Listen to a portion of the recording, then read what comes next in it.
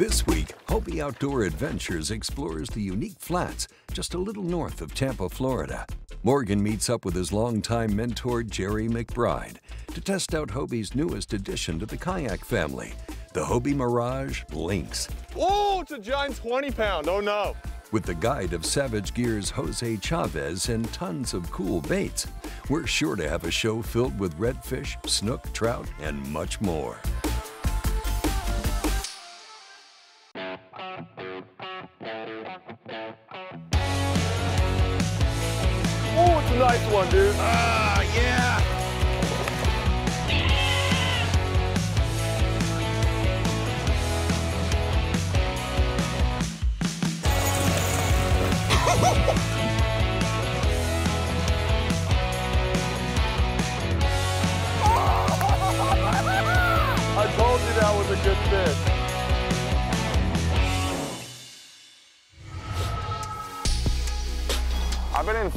A little bit over a week and it feels really good to be traveling again. It's been almost a year since I've been able to get on an airplane and fly to a different part of the country. So I'm meeting up with my good friend Jerry McBride and the next two days Jerry and I are going to get out on the water in a different area a little bit north of Tampa.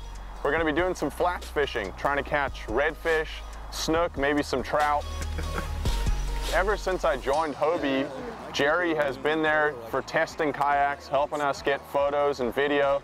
So he was very kind to kind of take me under his wing and show me the techniques that, that are needed for catching fish in this area. And anytime I get to fish with Jerry, it's just a pleasure.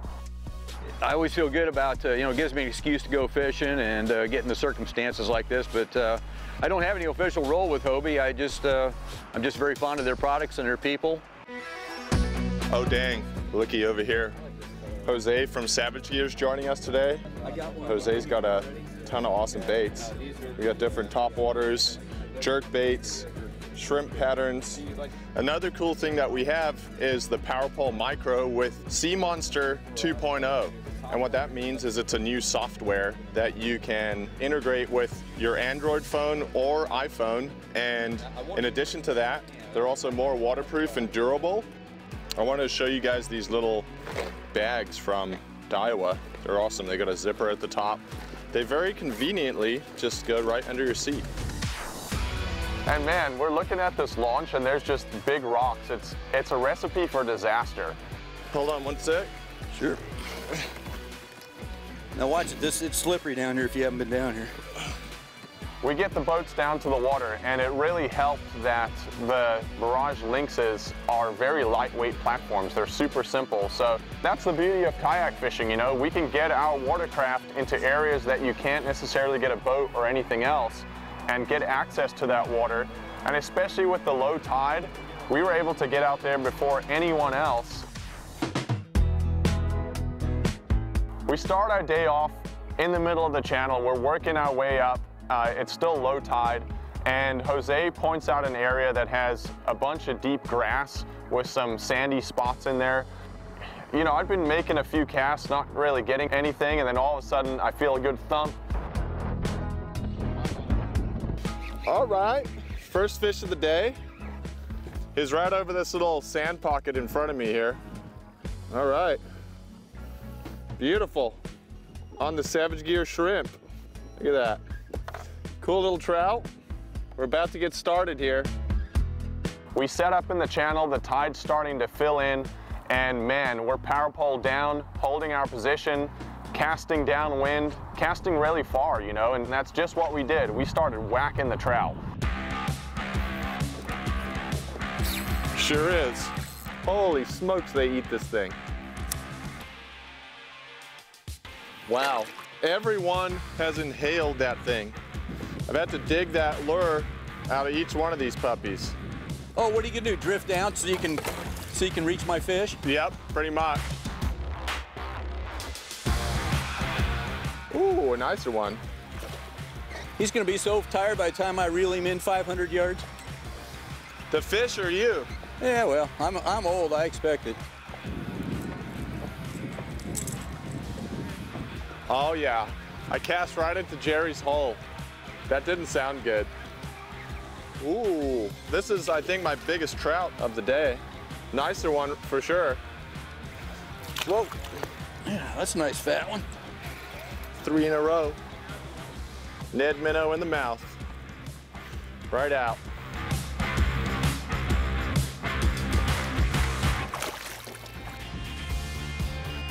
Another one.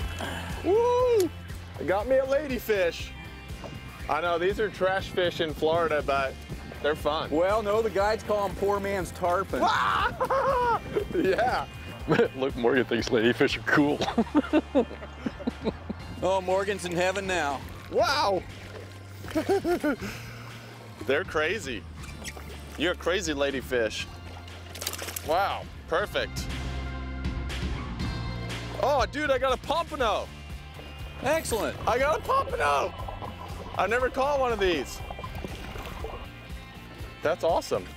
One of the best fighting fish pound for pound there is. Yes. Okay. All right. Pompano. Nice. Morgan and Jerry have caught enough trout for one day. Coming up, they'll start fishing in the Mangrove Creek and catch a lot of Jerry's favorite species. But you're sure a welcome sight. Come here, buddy. Hobie Outdoor Adventures. We'll be right back.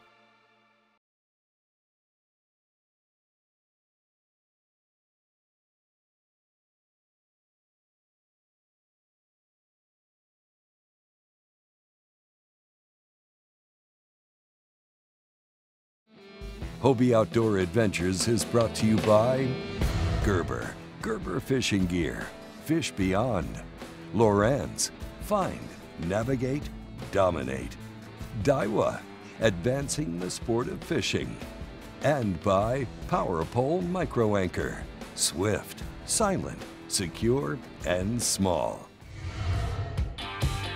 Welcome back to Hobie Outdoor Adventures. All right, let's take a quick look at the new Hobie Mirage Lynx, the talk of the town that we've been fishing out of this week. It's an awesome platform, super lightweight and simple. It only weighs 45 pounds hull weight, about 60 pounds fully rigged, and can take up to 350 pounds. Up on the bow, I had a soft cooler mounted up here with some ice, my drinks and lunch for the day. It's powered with the Mirage Drive 180 with kick-up fins. When you're fishing in an area with rocks and oyster reefs and stuff, those kick-up fins are absolutely key because they fold away. 180 also gives you reverse and forward. The seat's very, very comfortable. You have a steering handle. You can actually switch that from the left to the right side. There's a couple of tracks down here for mounting accessories, a nice EVA standing platform, side carry handles. In the rear, this is kind of my operation center. I have a Hobie seat back bag here, an H-Rail tackle bin, uh, a bunch of other accessories, Railblaza camera mount, as well as my Hobie H-Crate. And that's kind of where I store all of my gear for the day. One key component that is gonna be a game changer fishing in any wind, trying to stop ourselves on the flats and fan cast an area is the Power Pole Micro. You can use a six or eight foot spike with this thing. At the hit of a button, you stop and you're fishing. So check out the Hobie Mirage Lynx at Hobie.com.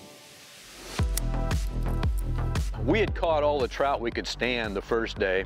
So as soon as that tide started rolling in, we headed for the rocks, an acre of rock garden. The bottom was just covered with, with rocks, where a little creek came out.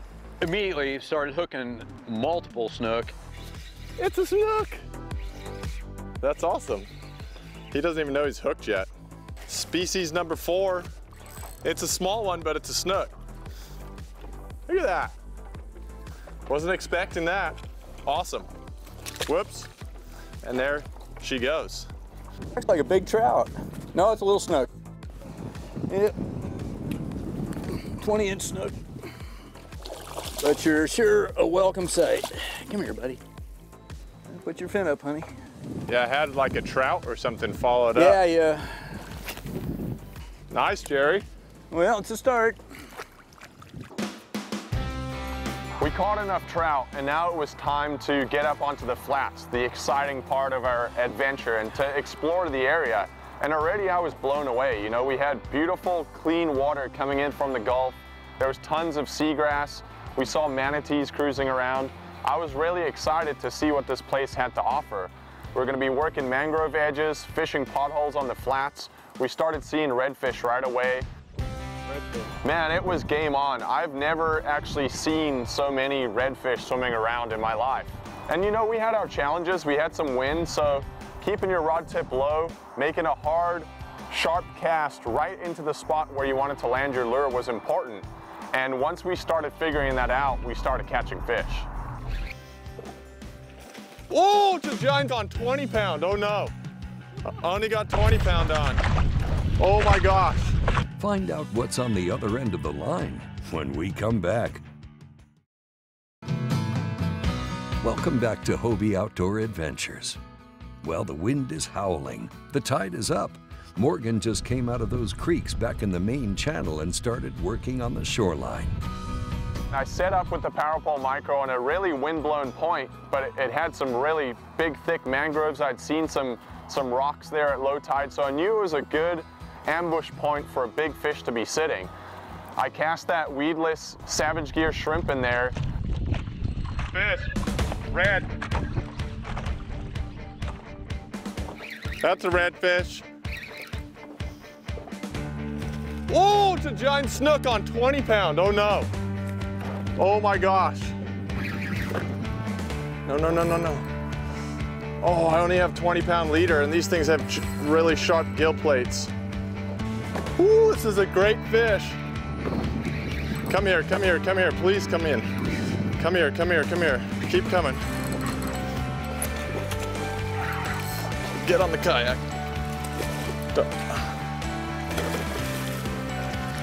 Oh, no! Microphone. Oh. To, I was an idiot and I tried to pull the freaking fish in. Full Morgan frantic panic mode. I get the fish up to the kayak. It's still completely green, not ready to come in. And I made a complete rookie mistake. I grabbed the leader and tried to slide the fish onto the kayak. In the heat of the moment, and I thought, oh my gosh, I can be like Kevin Nakada and jump in the water and grab this thing. So I did that. I'm an idiot on so many fronts. I hope you guys can learn from that. Don't try to pull a fish in by the leader. Take your time and grab it by the lip and don't jump in the water with an expensive microphone. Got to take a deep breath, try to reset here, and really, really hope that I get another opportunity like that because I blew that. But here we go. I'm gonna keep pushing.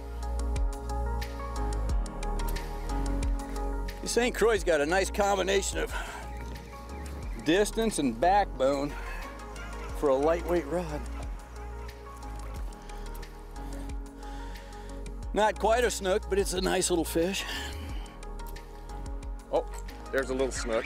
Watched him eat it.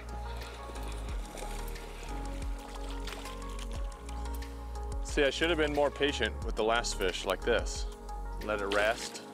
I kind of thought about those guys that fish all those tournament series and stuff, and when, you know, you lose a big fish like that, you have to kind of get past it and reset and start fishing again. And after that, I kept on plugging away. And really what helped get me over that sadness was catching a beautiful redfish. All right. Redfish. Beautiful. Gorgeous little red. We've been seeing enough of them. That shrimp in her mouth. Look at the colors on that fish. It's gorgeous. Thanks, honey. Gonna let her go.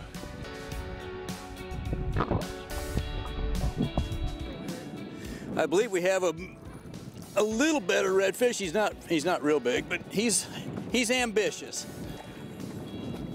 Wow, looks like a goldfish.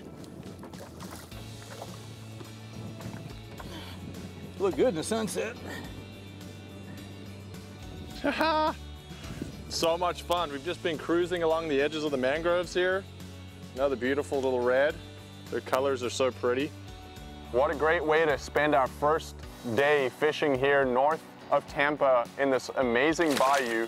You know, it was so cool pedaling along the mangrove edges and seeing thousands of mullet, just seeing the, the vegetation, the bird life, the manatees, such a cool area.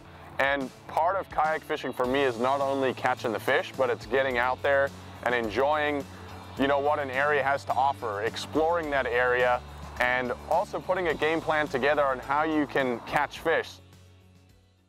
So a few weeks ago, I was fishing in freezing cold Virginia with my friend Kristine Fischer for Big Muskie. And I think we started a new Hobie Outdoor Adventures tradition, and that involves finding a lucky charm at a local restaurant. And we started off there finding uh, a painting that we called the American Classic.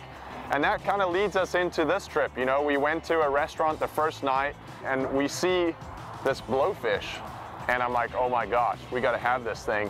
Jerry sees it, he's like, I, I would actually buy that. I like it. It's, it's cool. So lo and behold, we got Lucky Charm number two. We're calling him Hootie. Hootie the Blowfish. Coming up, it's day two on Fillman Bayou. Morgan and Jerry know exactly what to do, and with the help of a new Lucky Charm, Hootie the Blowfish, well, we'll see what they can catch. Stay tuned. Hobie Outdoor Adventures has been brought to you by Railblaza. Hold everything with Railblaza. Hobie Eyewear. See life easy. AFTCO, American Fishing Tackle Company. And by St. Croix Rod, the best rod on earth. Welcome back to Hobie Outdoor Adventures. It's another beautiful day in Fillman Bayou, Florida. It's the start of a new day, and I have a little something up my sleeve. I may or may not have gone to the grocery store last night and may or may not have found a bag of gross dead shrimp. In the bait and tackle section, I found these shrimp. And I know how much Jerry despises using any kind of bait. So these will be perfect for him. So throwing the shrimp on his kayak We'll see if how much luck Hootie has. If you think Savage Gear baits are good, wait until you try this. Oh, don't touch that. yeah. I know he likes to outfish everybody, but I think that's kind of playing dirty, taking it to extreme. It's like a banana to some people. You can throw all the bananas you want on my kayak, but don't throw dead live bait or whatever. Uh, but anyway, Hootie overcame, and, uh, and we were good. The target species today is redfish and snook. And so immediately we branch out onto the flats. And so I'm looking and all of a sudden I see a bigger wake and it's pushing stuff around. There's bait fish flying, fleeing for their lives. And I take that Savage Gear topwater and I make a cast. Oh yeah, big snook. I saw him. It's a big snook. It's a, it's a giant snook. This is my chance for redemption. Bang, big old jack. Well, that's a fun way to start the morning. Big old topwater strike on the flats. He's telling me he wants to go back in the water. This is a plier job with these treble hooks. Awesome, awesome. I was hoping it was a big snook. Nice little grunter to start the day. Let's let him go. I love catching jacks. I named my dog Jack. I'm all about the jack. Panama jacks, Florida jacks, I'll take them all. Ah, snook fishing. Gotta be the ultimate game fish in Florida. Life doesn't get any better. Hey, you want to see? A, this is a fish, Morgan. This is what this is what we're trying to catch here. Uh huh. So. Oh, got a not another one. I am so tired of catching fish. I was just trying to pretend like I got a bite too. Here, I'll let it jump over by Morgan's boat so he, you know, so there you go. Starting off the day, you know, macho man over here, catch myself a nice big jack. Well, Jerry just kept on whacking snook after snook. Finally, I think once he caught almost every single fish in that spot, we decided to keep on moving. There's a red. I have to catch a proper fish, otherwise Jerry is gonna make too much fun of me. Oh, beautiful. On the Ned minnow, jig head right there. They're gorgeous. Look at the blue on that tail, on the tip of the tail. Awesome, awesome fish. Nice long downwind cast and right along the mangroves. They're coming up to start sniffing around the mangrove roots and the rocks as the tide comes in. And he cooperates by putting his putting his fins up for me. Power pole down. Yeah, it's a good thing it's not a snook. Stay out of the mangroves, sir. Oh, sweet. Look at that. Yeehaw! Look at that. Nice. Very nice. Let's let her go. Thank you, miss. oh, it is big red. I thought it was a jack. Oh, my po- power pole is deep enough. Here we go. Cooperating, fins up.